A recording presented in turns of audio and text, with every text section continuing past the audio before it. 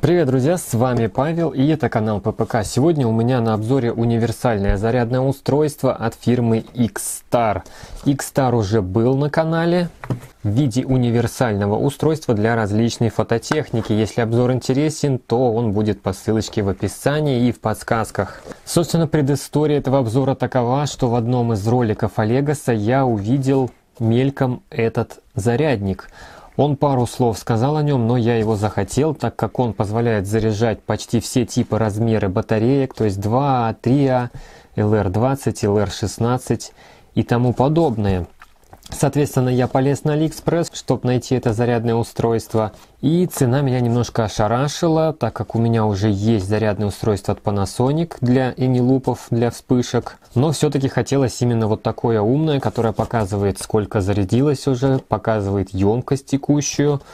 То есть более, так сказать, продвинутую. Соответственно, я написал на почту Xstar, когда мне прислали первый зарядник, они ко мне сами обратились. Ну и, соответственно, я написал туда же. Сказал, что я готов купить их зарядку со скидкой, сделать обзор и так далее, но мне любезно предоставили ее полностью бесплатно на обзор. Соответственно, никаких условий не было, то есть я могу говорить что угодно и, соответственно, использовать эту зарядку. Что же касается коробочки, то она вот такая небольшая, на задней стороне находятся основные характеристики, то есть у нас здесь поддержка Quick Charge 3.0, 5 вольт 3 ампера, 9 вольт 2 ампера.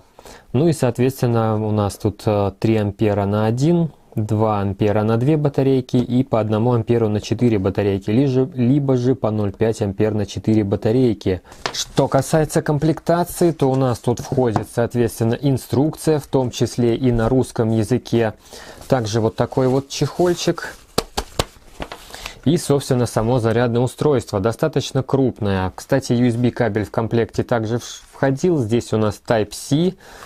И что касается блока питания, то конкретно в этой комплектации блока питания нет. То есть нам нужно использовать либо свой блок питания, либо в моем случае, поскольку у меня уже есть устройство от Xstar, то есть от предыдущего зарядного устройства, у меня есть вот такой вот мощный блок питания 15 вольт на 3 ампера, то есть 45 ваттный. Соответственно, его я использовал при зарядке этого устройства. Итак, давайте посмотрим на него поближе.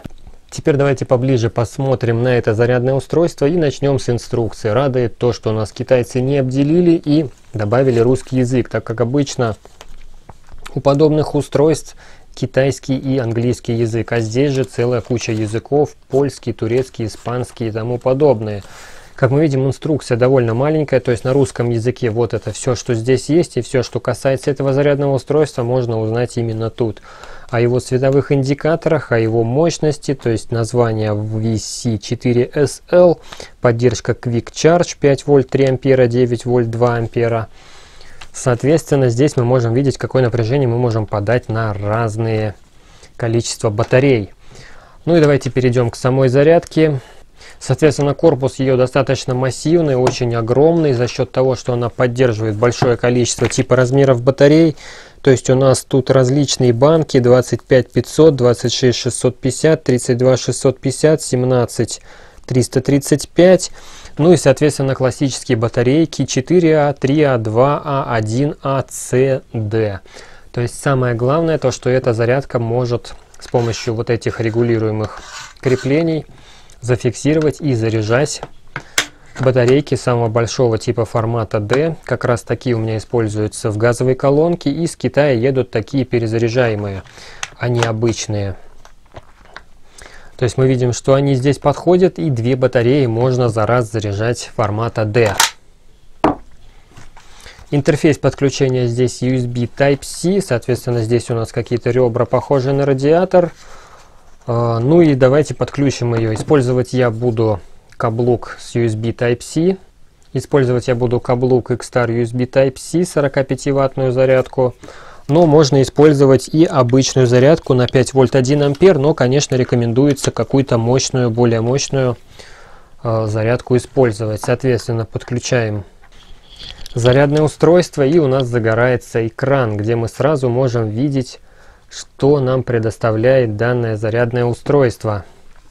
Итак, здесь мы видим основные индикаторы. Давайте попробуем вставить батарейку размера 2А. А. Правда, к сожалению, эти комплекты батареек у меня заряжены. Это и не лупы Pro, и обычные. И, соответственно, No Name Go On формата 3А. И первое, что мы видим, то, что у нас определились типы батарей. Никель, металл, гидридные батареи, аккумуляторы. То есть у нас пошла зарядка, и мы сейчас видим, сколько прямо сейчас зарядила данная зарядка. То есть 1 мАч у нас емкость составила текущая. Также на кнопку мод мы можем переключить и увидеть, получается, силу заряда 165 махов в час, что, конечно, немного. И сейчас мы видим внутреннее сопротивление этих аккумуляторов. У каждого оно свое. Также значением current мы можем изменить, по идее, силу тока заряда. 2 ампера, 1 ампер, 0,5 ампера, 0,25 ампера и 3 ампера. Странно, что здесь на все 4 указано значение, так как в инструкции написано, что 3 ампера можно только на один источник подать, так как не хватает мощности заряда. Но, возможно, здесь настолько мощная зарядка, у меня все-таки 45-ваттный каблук, и поэтому у нас здесь э, позволено такое использовать силу тока. Соответственно, по завершению зарядка автоматически отключится, перестанет заряжать и будет значение full. Также будет показана текущая емкость, которую зарядила. Но помимо этого здесь можно реально вычислить емкость. Если включить соответствующий режим, то мы можем получить значение емкости. То есть аккумулятор сначала зарядится до конца, потом разрядится до конца и потом еще раз зарядится. И после этого мы уже увидим настоящую емкость. То есть все это сделает сама зарядка без нашего участия.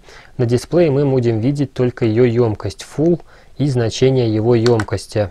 То есть в этом плане это классная штука, что здесь есть дисплей и мы видим, как у нас идет зарядка. Соответственно, сейчас мы видим ампераж. Если верить этому значению, то он указан в районе 0,5 ампер. То есть 0,5 ампер час и сила тока заряда у нас примерно 1,3 вольта на всех трех аккумуляторах. Соответственно, статус Charge красным горит на дисплее. Сейчас камеры я не вижу этого, но с трудом видно.